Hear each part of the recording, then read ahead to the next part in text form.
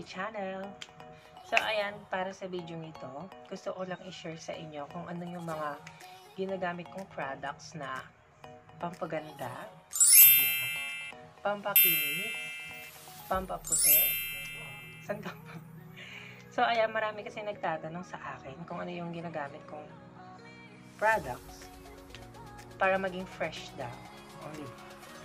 So, yung mga i-share ko sa inyo is mga iilan lamang sa mga ginagamit ko. Kasi yung iba is iniinom ko sila. And then, i-share ko din yun sa next video ko. So, ayan, para sa mga nagtatanong, ito na, gumawa na ako ng video para malaman nyo kung ano yung mga ginagamit. So, dati, fan na fan talaga ako ng mga rejuvenating products. So, gumagamit po ako na yan dati. Ang unang ginamit ko is Brilliant. And then, nag-switch ako. Mga ilang months din. Mga after 2 months, nag-switch ako ng Prestige. So, ayan, Prestige. And then, dahil summer na nga at mainit na ang panahon, iniba ko na. Hindi na ako gumamit nun kasi syempre, ba, mga rejuvenating set, bawal na bawal yan sa may init. Ang init-init. So, ito yung mga products na ginagamit ko ngayon. Una is itong Prestige pa rin. Pero yung yung Kojic with papaya pure nila. So, ayan yung pang-massage. Meron siyang pang-massage. And ito. Ayan. So, mamaya ipapakita ko sa inyo kung paano ko ginagamit. So, ayan yung ginagamit ko pang panglinis ng fest. Kaysa sa yung ginagamit kong, kasi gumagamit ako dati ng sabon. Eh, nakita ko to. Buti na lang is nilabas nila to at napakaganda niya, promise. Sulit na sulit siya. Ang lambot niya sa fest. And, easy lang siyang gamitin. At ang perfect niya, promise. Then, after naman nito, yung ginagamit ko, pang hydrate ng aking fest, pang moisturizer is itong Hylo Collagen. Ayan. Made in Thailand to. O, social, di ba? so, made in Thailand. Nabili ko to sa Shopee kay Rui Mariano. So, ayan. Moisturizing, hydrating, brightening, and youthful skin na. O, diba? And then, yung sa loob nito is para siyang injection. O, diba? Ganito yung sa loob. And then, meron siyang, ayan, o. Ayan yung laman niya. So, itong isang ganito is nagkakahalaga ata siya ng 380 pesos. Yan, 380 pesos. Then, ito, nasa 200 plus. Hindi ko alam kung 200 plus o 280. And then, pag minsan tinatamad ako at galing akong work, minsan pag kumari, tinatamad ako mag skincare, tinatamad akong gamitin yung mga yon. Ito yung ginagamit ko. Frozen Collagen Mask. So, napakaganda rin ito. Napakalabig niya sa chest. At, as in, perfect din siya for skincare. So, ayan. Maganda rin siya, promise. Nakaka-whitening times 10 na, o, diba? So, ayan yung mga tatlong products na ginagamit ko lang. And then, yung the rest is iniinom ko na. So, papakita ko mamaya kung paano ko ginagamit itong dalawa. Kasi ito ginagamit ko lang paminsan eh. Kaya ito yung madalas ko silang ginagamit. So, ayan, punta muna tayo ng CR. Ituturo ko kung paano ko gamitin to. So, yan, gagamitin na natin itong facial, ay itong Kojic na facial foam. So, alis na muna yan. So, ayan yung tsura niya. Lahat. Ganito lang. Hindi lang isang tayo.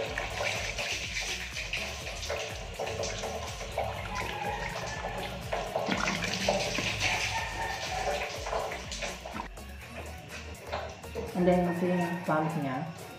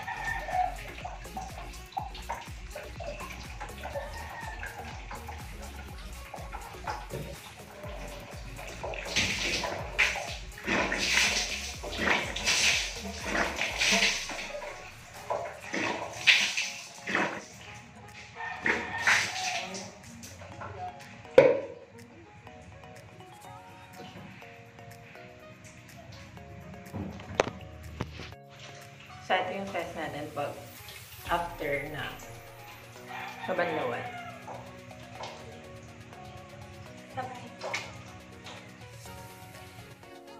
So, ayan, tapos na natin gamitin ito. At ito na yung test natin. So, ayun na yung test. O, ang next natin gagamitin is itong Hylocollagen. Ano? So, ito siya. Para siyang injection. Ang una akala ko ini-inject siya, pero ginagawa ko, inaalis ko lang to. Ayan.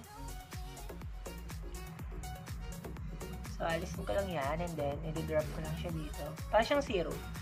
Serum pala talaga siya. So, ayan. Wait lang. Ay! Shit! Ahulog. Sayang. So, ayan. Okay na yan. Then, ikalat mo nyo lang siya.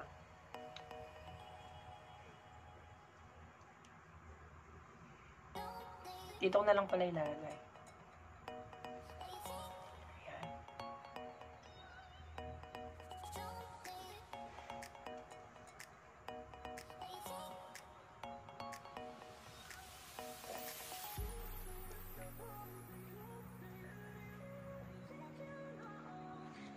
And then, pataas dapat siya paglalagay ako. Then, ano ba?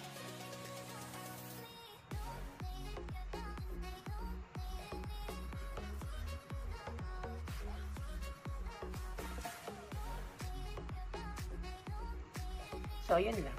So, ito pa yung natira. Marami pa naman siya. Tipid naman siyang gamitin. Siyempre, depende pa rin naman sa inyo. So, ayan. Babalik ko siya dito. So, after nyan, ganyan na lang. And, ayan pa yung pakaramdam ko sa, sa fest is para siyang malamig. And then, ang sarap niya, ang sarap sa feeling. Kaya bonggang bongga din kasi siya. So, fan na fan kasi talaga ako ng mga collagen. So, ayan, kaya halos lahat ng ginagamit ko is collagen. Frozen mask. And then, itong Hylo Collagen. So, ayan yung mga ginagamit kong skincare paggabi. Pag ginagamit ko sila tuwing after kong matulog. Ay, bago ako matulog. So, by the way, may ginagamit pa pala akong isa. Nakalimutan ko sabihin. Gumagamit din ako sa... Ito, gumagamit din ako nito. Soothing gel. Pag ginagamit ko naman to sa umaga, kahit lang yung ginagamit ko sa umaga, Suchi, soothing gel. O, diba? So, ayan na, guys.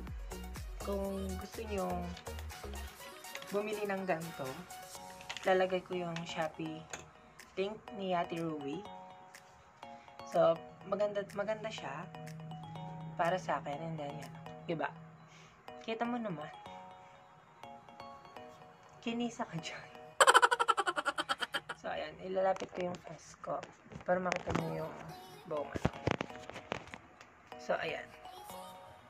Ayan yung face natin. Diba? So, ayun na yung secret ko kung bakit nananatili tayo naging fresh. And also sa mga iniinom natin. Ayan. Di lang dapat pahit-pahit. Ayun yung goal ko kasi this 2021 is maging fresh look. So, don't forget to like, comment, share, and also subscribe to my channel. It's me, Juvan. Bye-bye!